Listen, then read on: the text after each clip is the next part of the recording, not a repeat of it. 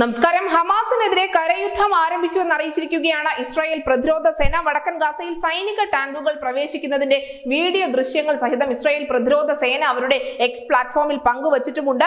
നിലവിൽ സൈന്യം വടക്കൻ ഗാസയിൽ പ്രവേശിച്ചതായും ഹമാസ് ഭീകരരുടെ ബങ്കറുകളും മിസൈൽ ലോഞ്ച് പോസ്റ്റുകളും തകർത്തതായും അതിന്റെ ദൃശ്യങ്ങൾ പങ്കുവച്ചുകൊണ്ട് തന്നെയാണ് ഇസ്രായേൽ പ്രതിരോധ സേന അഥവാ ഐ ഡി എഫ് എക്സിൽ കുറിച്ചിരിക്കുന്നത്. അടുത്ത ഘട്ട യുദ്ധത്തിനുള്ള തയ്യാറെടുപ്പുകളുടെ ഭാഗമായി പ്രതിരോധ സേന വടക്കൻ ഗാസയിൽ പ്രവേശിച്ചിട്ടുമുണ്ട് ഐ ഡി എഫ് ടാങ്കുകളും സൈന്യവും ഭീകരവാദികളുടെ സെല്ലുകളും ആന്റി ടാങ്ക് മിസൈൽ ലോഞ്ചുകളും തകർത്തിട്ടുണ്ട്. സൈനികർ തിരികെ മടങ്ങിയെത്തി എന്നാണ് ഐ ഡി എഫ് എക്സിൽ നിലവിൽ കുറിച്ചിരിക്കുന്നത്. സൈനിക നീക്കത്തിന് മുന്നോടിയായി വടക്കൻ ഗാസയിൽ നിന്നും എത്രയും പെട്ടെന്ന് തന്നെ ജനങ്ങൾ ഒഴിഞ്ഞു പോകണം എന്നുകൂടി ഇസ്രായേൽ ആവശ്യപ്പെട്ടിട്ടുണ്ടായിരുന്നു. തെക്കൻ ഗാസയിലെ സുരക്ഷിത സ്ഥാനങ്ങളിലേക്ക് ജനങ്ങൾ മാറണം എന്ന ഒരു നിർദ്ദേശവും ഇവർക്ക് നൽകിയിരുന്നു. വ്യോമ ആക്രമണം അവസാനിപ്പിച്ച് വടക്കൻ ഗാസയിലെ ഹമാസ് കേന്ദ്രങ്ങളിലേക്ക് കടന്നു കയറി ആക്രമണം നടത്തുമെന്ന് ഇസ്രായേൽ നേരത്തെ തന്നെ വ്യക്തമാക്കിയിരുന്നു. ഇനി വ്യോമ ആക്രമണമല്ല കരയുദ്ധത്തിന് തന്നെ തങ്ങൾ പുറപ്പെടും മുന്നിട്ടിറങ്ങും എന്നുള്ള ഒരു സൂചന ഇതിനു മുൻപ് ഇസ്രായേൽ നൽകിയിരുന്നു. ഇത് തന്നെയാണ് ഇപ്പോൾ അവർ നടപ്പിലാക്കിയിരിക്കുന്നത്. എന്തായാലും ആവശ്യമായ ആയുധങ്ങൾ അമേരിക്ക ഇസ്രായേലിന് കൈമാറിയിട്ടുണ്ട്. American president Joe Biden French president Emmanuel Macron British പ്രധാനമന്ത്രി